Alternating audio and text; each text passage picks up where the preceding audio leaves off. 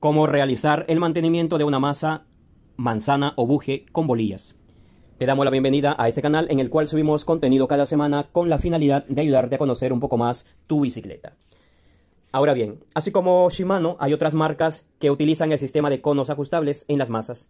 Esta masa o buje tiene un sistema de rodamientos sueltos, parecido a la masa Shimano como mencionamos anteriormente. En algunos casos pueden usar canastillas en vez de rodamientos sueltos en, caso tu masa use rodamientos sueltos, entonces debes usar 9 bolillas por lado.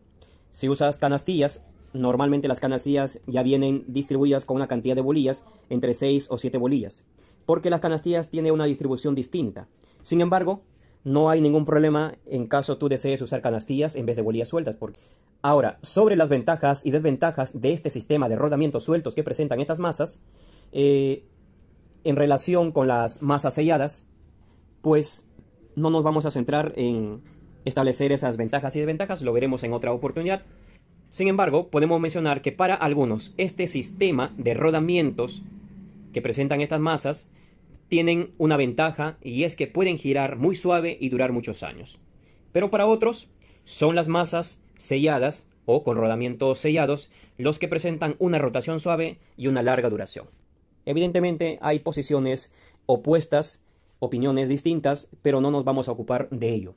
Pero bueno, vamos a hablar entonces del mantenimiento de las masas y por ello, lógicamente, igual que en cualquier parte mecánica de nuestra bicicleta, debemos aplicarle un buen mantenimiento y desmontar totalmente para ingresarlo periódicamente.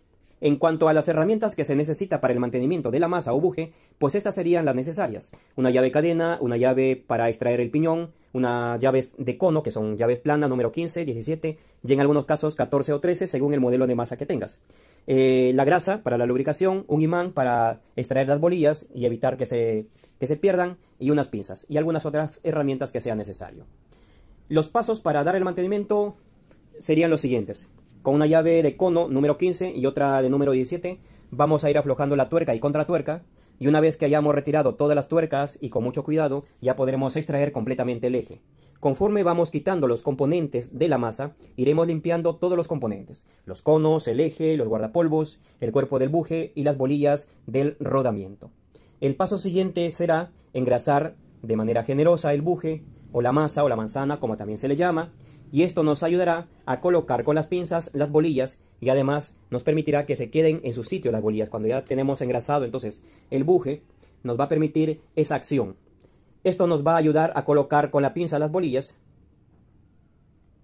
El paso siguiente será engrasar generosamente el buje o manzana, como también se le llama, y esto nos va a ayudar a colocar con las pinzas las bolillas y que se queden en su sitio.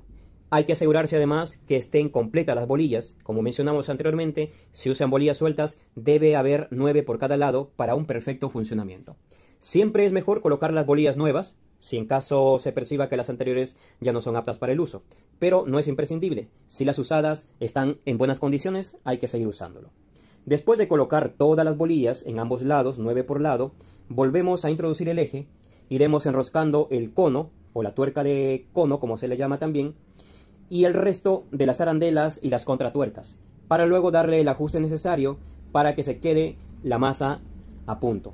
Para hacer el ajuste preciso, vamos a ir apretando con la llave 15 poco a poco hasta que notemos que el eje no presente ningún movimiento, ninguna holgura.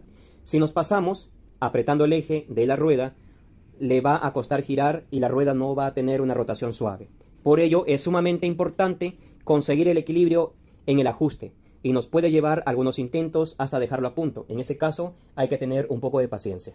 Ahora con la llave número 17 y la llave número 15 hacemos el ajuste de la contratuerca. Vamos apretando la tuerca exterior asegurándonos que el cono que hemos ajustado anteriormente no se mueva y volveremos a comprobar que todo esté correctamente, sin holgura, que presente una rotación suave. Y estaría lista nuestra masa para el uso en nuestra bicicleta. Ahora bien, después de haber hablado un poco sobre el proceso del mantenimiento, hablemos sobre los tipos de mantenimiento que se puede optar para nuestra masa o buje. En cuanto al mantenimiento, se podría hablar de dos tipos de mantenimiento, si se quiere. Del preventivo, que no es otra cosa que la acción del mantenimiento cuando se le da luego de un recorrido o después de unas semanas o de algunos meses, pero que no está motivado por problemas evidentes en la masa. El segundo tipo de mantenimiento es el más frecuente y está motivado por algún problema que se percibe en el funcionamiento de la masa. En el primer caso, normalmente no será necesario reemplazar ningún componente salvo excepciones. Por tanto, solo se limpiará y se volverá a lubricar. Este mantenimiento preventivo te ahorra dinero y te permite alargar la vida útil del sistema de tu masa o buje. En el segundo caso, con frecuencia, se debe reemplazar algunos componentes o en otros casos todos los componentes del sistema de rodamiento de la masa y por tanto va a generar mayor gasto. Pues bien, no queremos alargarnos más, lo vamos a dejar ahí. Si tuvieras alguna duda o alguna consulta o algún aporte, déjanos en los comentarios para leerte. Gracias por tu apoyo. Hasta la próxima.